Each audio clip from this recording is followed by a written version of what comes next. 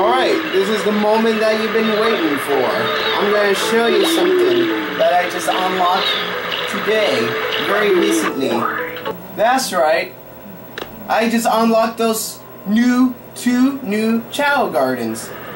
I'm going to show you this one first.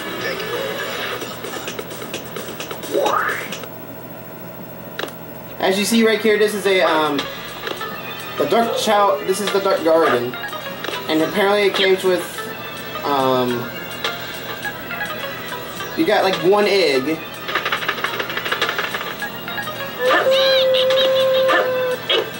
Boom!